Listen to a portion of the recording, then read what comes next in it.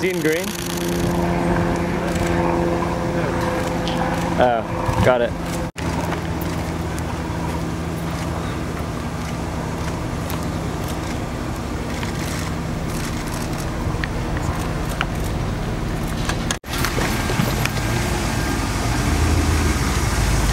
Thanks guys.